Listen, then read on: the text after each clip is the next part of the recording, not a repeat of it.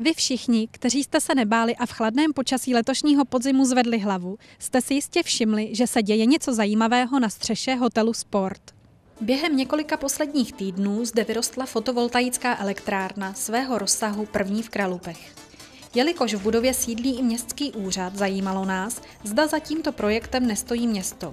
Nikoliv. Celou akci naplánovali a zrealizovali majitelé hotelu. Proč jste se rozhodli pro instalaci elektrárny na střeše? Je to z důvodu snižování energetické náročnosti budovy, která je e, obrovská.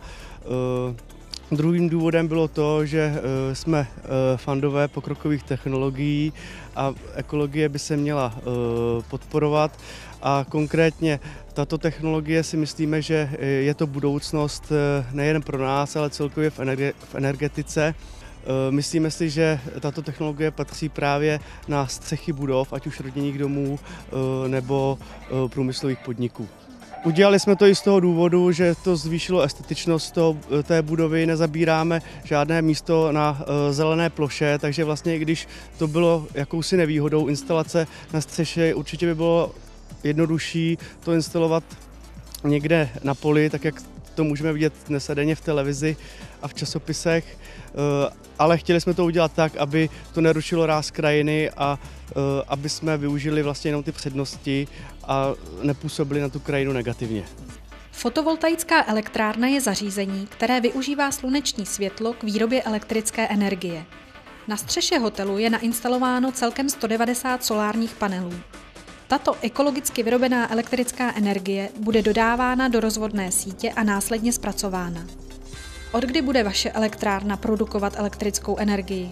V současné době jsme ve fázi, kdy jsme odeslali veškerou dokumentaci na regulační úřad, takže čekáme na licenci. Jak náročná byla instalace panelů na střechu? Šlo o důkladné posouzení statiky stavby, protože je to velká eh, váha a bude to působit velký odpor eh, proti větru. Celou obrovskou plochu drží ocelová konstrukce a dle projektu jsou v systému panelů provedeny průvlaky proti větru. Co se legislativní části týče, bylo nutné navštívit stavební úřad, energetický regulační úřad a ČES.